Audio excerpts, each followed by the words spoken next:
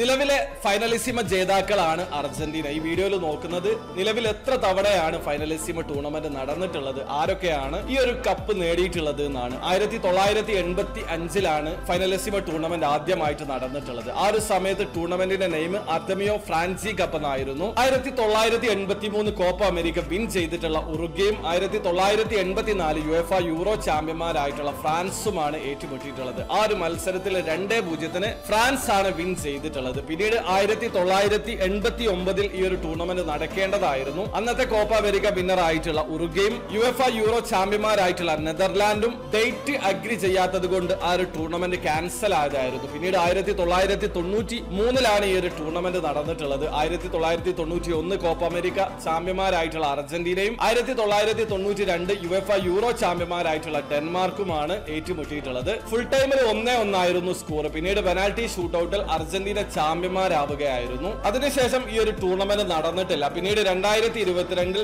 Finalissima എന്ന പേരിലാണ് ഈ ഒരു ടൂർണമെന്റ് റീലോഞ്ച് ആയിട്ടുള്ളത്. രണ്ടായിരത്തി ഇരുപത്തിയൊന്ന് കോപ്പ അമേരിക്ക വിന്നർ ആയിട്ടുള്ള അർജന്റീനയും രണ്ടായിരത്തി ഇരുപത് യു എഫ് യൂറോ ചാമ്പ്യന്മാരായിട്ടുള്ള ഇറ്റലിയുമാണ് ഈ ഒരു ടൂർണമെന്റിൽ ഏറ്റുമുട്ടിയിട്ടുള്ളത്. മൂന്നേ പൂജ്യത്തിന്റെ മികച്ച വിജയവുമായി അർജന്റീന ഫൈനലിസിമ ടൂർണമെന്റ് സ്വന്തമാക്കിയിട്ടുണ്ട്. അപ്പൊ കൃത്യമായിട്ട് പറയുകയാണെങ്കിൽ ഫുട്ബോൾ ചരിത്രത്തിൽ യൂറോ ചാമ്പ്യന്മാരും കോപ്പ അമേരിക്ക ചാമ്പ്യന്മാരും മൂന്ന് തവണ മാത്രമാണ് ഏറ്റുമുട്ടിയിട്ടുള്ളത്. ആ ഒരു മൂന്ന് തവണയിൽ രണ്ട് തവണ അർജന്റീന ചാമ്പ്യന്മാരായിട്ടുണ്ട്. ഒരു തവണ ഫ്രാൻസ് ആണ് ചാമ്പ്യന്മാരായിട്ടുള്ളത്. ഇനി ഫ്യൂച്ചറിൽ ഈ ടൂർണമെന്റ് സ്ഥിരമായിട്ട് നടക്കുകയാണെങ്കിൽ മറ്റുള്ള ടീമുകൾക്കും വിൻ ചെയ്യാനുള്ള സാധ്യതയുണ്ട്. ഒരൊറ്റ മത്സരം വിജയിക്കുകയാണെങ്കിൽ ഒരു ട്രോഫി സ്വന്തമാക്കാൻ പറ്റുന്ന ഒരു ടൂർണമെന്റ് തന്നെയാണ്.